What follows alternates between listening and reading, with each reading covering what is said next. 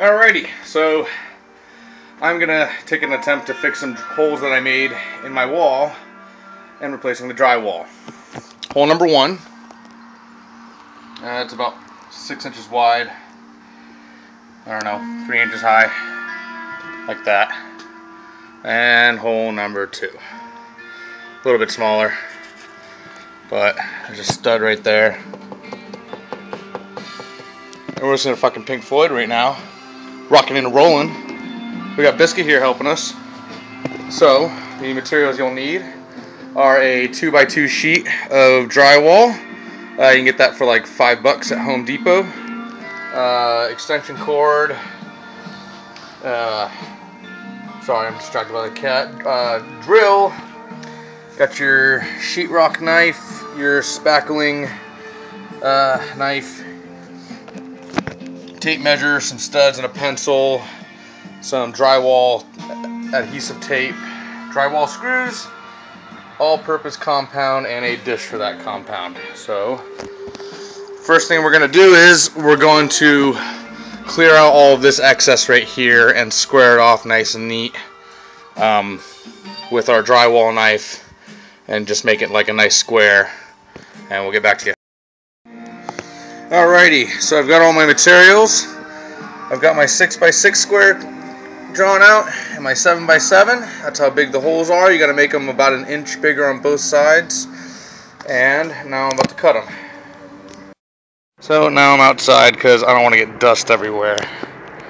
So let's get to work on this.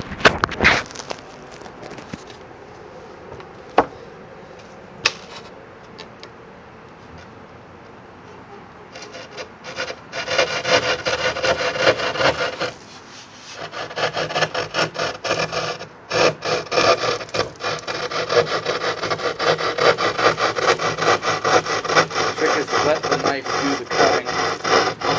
Don't be too rough on it, or else you'll break your piece of sheetrock.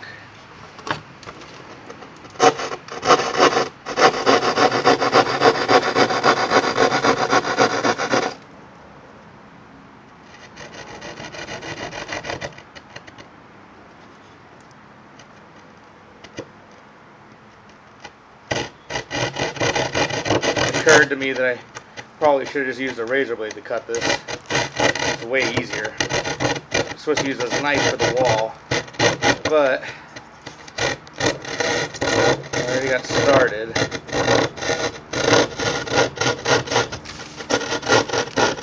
Might as well see it through.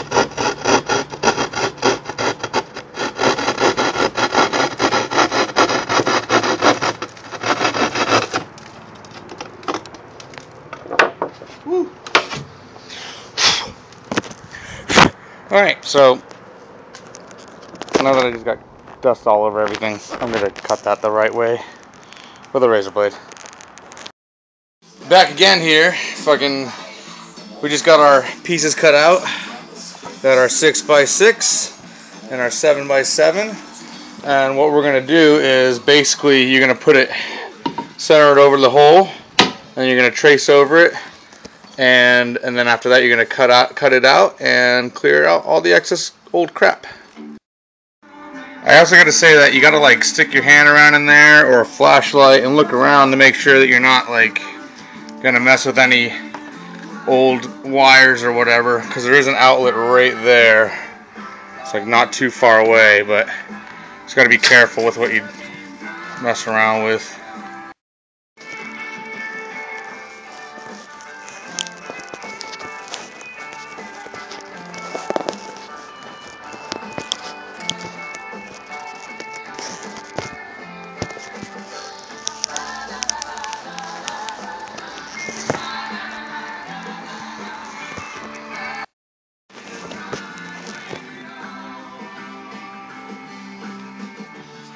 So I got my 7 by 7 piece. I'll trace a square.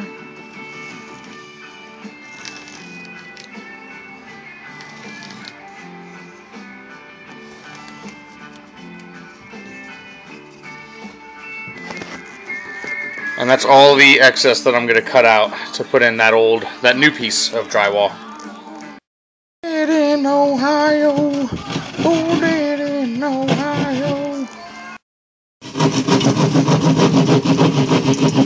There's a lot of uh, dust coming out. It's nice to have a receptacle to catch all your crap in. So you're not stuck with a big cleaning job when you're done.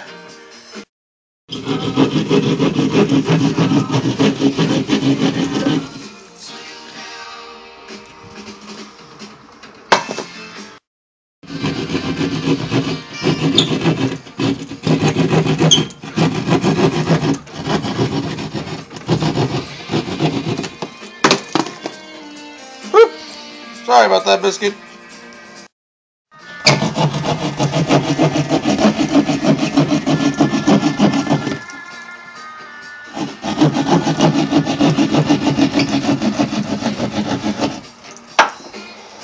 Alright, so I've got my hole all made out.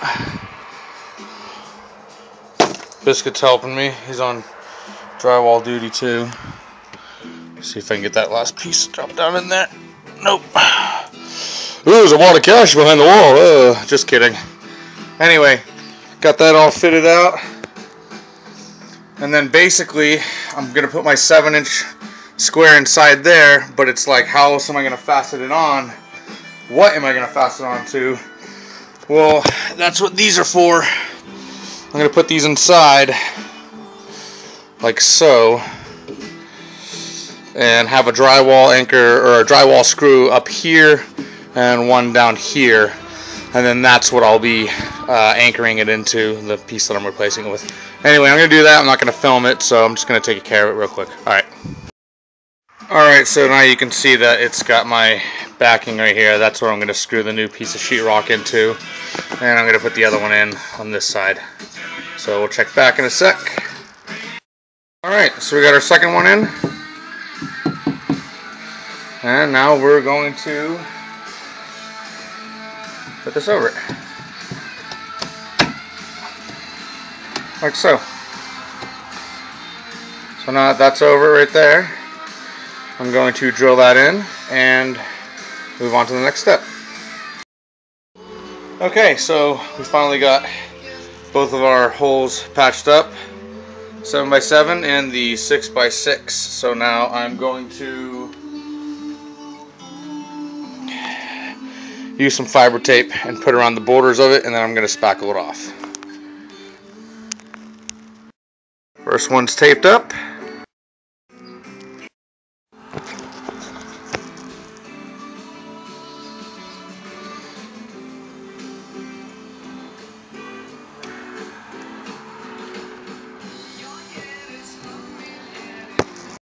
And that's the finished product right there.